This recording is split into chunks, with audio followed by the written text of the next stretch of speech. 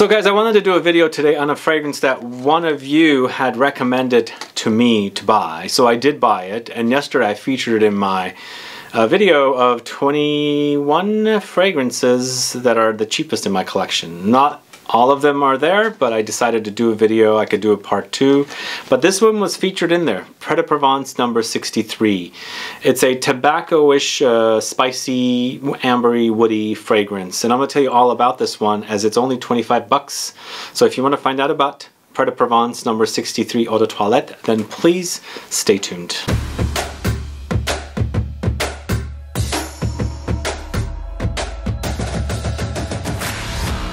Thanks so much for tuning in. This is Sebastian with Smelling Great Fragrance Reviews. Yes, I'm doing a review today for an inexpensive fragrance that I bought that you guys had recommended to me. I thought I'd do this video because, you know, it is a great value for what you get. Uh, even though the smell of this fragrance reminds me of other fragrances, as I mentioned in the video yesterday, I feel like uh, it's definitely worth to do uh, a video about this particular uh, fragrance. And, and also, you know, just to highlight this particular brand because they have, uh, the brand has um, multiple products centered around this particular fragrance for shaving. So they have a men's collection of shaving and uh, grooming products and of course this is the fragrance. But the weird thing was I couldn't find the fragrance on their website. But I'll tell you all about the fragrance. But before we do that if this is your first time tuning into the channel and you still haven't subscribed to the channel please click the subscribe button below and also click the bell so that you'll be notified for future videos and giveaways. So this is a very inexpensive fragrance somebody had told me about and I decided to do it because I like the name of the house Pre de Provence I spent so much time in Provence I love that region of France and I thought you know what let's give it a chance especially since it's only 25 bucks for 100 ml. So basically, it's about 25 uh, cents per milliliter, which basically works out to be 25 bucks for a 100 ml bottle. So it's very, very inexpensive. And I have a link to Amazon. This is where I found the fragrance. I went to their website, and again, they were there was 11 or 12 different products in this line, number 63, which the fragrance is called. But the fragrance wasn't listed there, so I wasn't sure what was going on. But the fragrance was sold at multiple places, but I found it at Amazon for 25 bucks. And it wasn't like mm, only a certain amount left. There was a bunch of them left, so there was not a quantity mentioned. Hurry buy 25 only left or something like that. But it's an eau de toilette concentration. I can't find a perfumer name. I can't find a year of release. But uh, a couple of places did say that it was on in uh, 2018 it was launched. Either way, notes for this fragrance are in the top citruses, pepper, and I feel like there's black pepper or pink pepper in the mix. In the heart you have cedarwood, plum, and violet leaves. In the base notes you have amber, leather, and tobacco. I'll say it again, it's a very inexpensive fragrance from a very unknown brand. So Pre de Provence, don't know about them, but you know, I have heard about them and I do see their products when I visit Provence because they're known for soap. Provençal soap is one of my favorite things. Whenever I go to that region, I buy a bunch of soap and bring it back with me because I love soaps. I'm obsessed with soaps.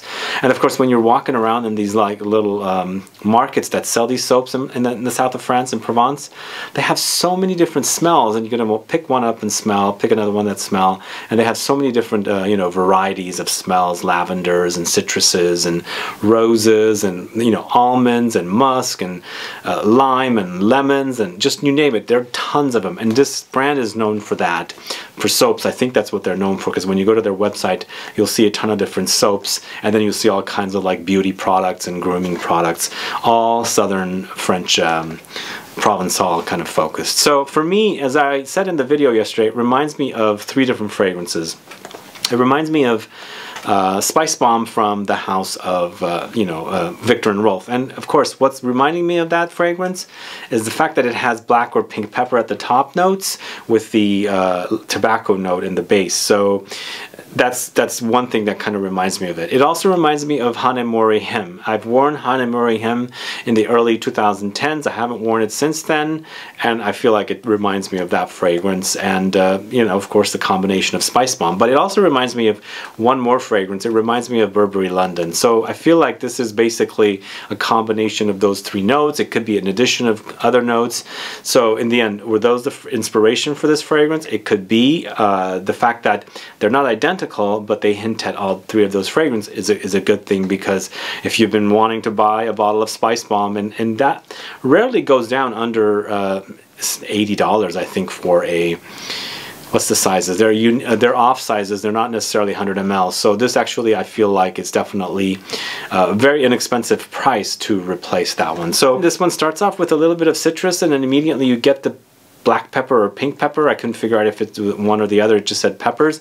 But for me, it reminds me of pink pepper more than black pepper because black pepper makes you sneeze, even in perfume, but um, or almost gets you to the point of sneezing. But with this one, there's a little bit of a light, uh, rosy uh, quality with the uh, pink pepper at the top as well, along with the citruses. So in the end, I felt like it was pink pepper instead of black pepper. So it is a peppery start. It is a, little citrusy, but immediately you get some fruitiness and then some uh, woody touches in the heart with the cedar wood and uh, a little bit of uh, ozonic touches, green touches with the violet leaves. But I feel like since the, the tobacco is what's really the, the the note, the main note of this fragrance, you can start picking up the tobacco early on because it's pretty much dominating throughout the whole fragrance.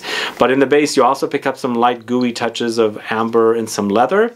Leather is not so prominent, uh, it's lightly there, so don't worry if you don't like leather because it's not really potent and stand out. But in the end, I feel like it's a, it's a solid release for the 25 bucks. If I was on a budget, this is kind of fragrance I would wear. I feel like it's a very, very quality. It doesn't smell cheap. It smells expensive uh, for what you get, but it's not like a luxury fragrance. Uh, the, that's the negative thing about this fragrance. In the end, when I am so used to all these wonderful niche uh, luxury kind of styling of fragrances, this doesn't compare because I've smelled it before. I've smelled it in countless fragrances, not only the three fragrances I mentioned, I've, I've smelled it in other fragrances that kind of focus on tobacco, very designer tobacco fragrances. So for me, this is not something I would wear currently, and I'm being upfront and honest with you guys.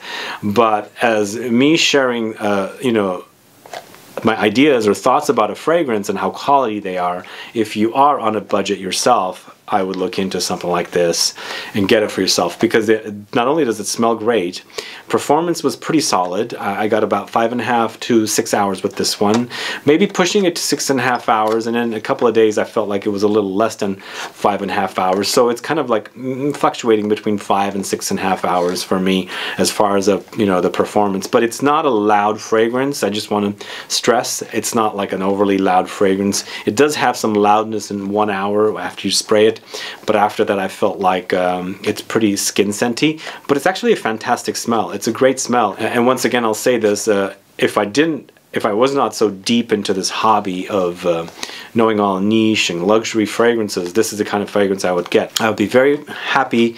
The fact that it was discovered or you know thank you for the recommendation whoever you were i appreciate it but i would discover a fragrance like this and i would like you know wear it and, and enjoy it because in the end uh, if i wasn't in the space that i am now I've always was always after the discounted and uh, inexpensive fragrances. And when you find a fragrance that's inexpensive and it also smells good, it doesn't smell bad or cheap. You know, some fragrances um, are inexpensive and they actually perform and are smelling cheap as well but this smells expensive. In the end it smells uh, similar to Spicebomb. It smells similar to Hanae Mori him. It smells similar to uh, you know burberry london. So it has quality to it. It has um, it doesn't smell like what it costs is what i'm trying to say. So it smells expensive. But it smells designer. It doesn't smell niche. It doesn't smell luxury. It doesn't smell like a crazy indie out there kind of a fragrance. It's a mass appealing, uh, you know, tobacco fragrance that's uh, spicy and ambery and woody. Um, I, I, feel like it's a solid release and it's a perfect, perfect scent for fall because um, a little warmth out there still with the fall weather and cool as well, the combination of the two. And I feel this is going to be perfect for that kind of a, a weather. I think you can wear it all year round. It might be a little too strong during the warmer months, but uh, for sure, any cool days, uh, this is great. Now I'm curious to ex explore more about this house and see what else they have, but I feel like this is pretty much um, the only fragrance they have for men. I don't know if they have women's fragrances. I didn't really dig deep into their website. I just learned that they are from Provence and I have recognized their soaps because I've seen them and now I'm curious to see what else else they have. But one more thing I want to say, this was available in addition to Amazon at other uh, retailers online. It was a little more expensive than what Amazon was charging of $25.30. And those other websites were websites that sold men's grooming products and shaving products. So they're really pushing the shaving and men's grooming and uh, barber shop kind of a theme with this uh, particular uh, fragrance and collection. So those of you guys that are into those shaving things, the barbershop and all that kind of stuff might be into this particular fragrance as well. So check it out. It's de Provence number 63 Eau de Toilette currently at Amazon for 25.30. I have a link in the info box if you want to check it out there. Other than that, that's my uh, video for you today. Have you heard of this brand? Pre de Provence. Do you know this fragrance, number 63, Eau de Toilette? Check it out. I think you're going to like it. Anyway, thanks so much for watching today's video. If you have any questions or comments, please list below. Otherwise, please like this video. Please share it.